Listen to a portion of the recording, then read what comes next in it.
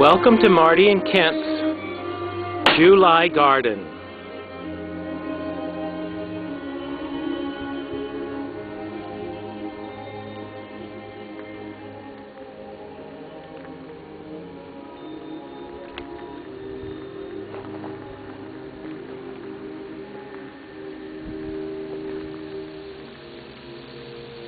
We spend our evenings watching the birds, having a glass of wine, and watching the sun go down.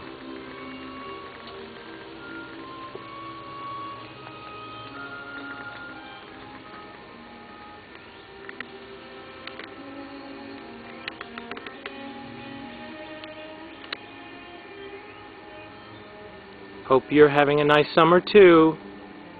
Bye for now.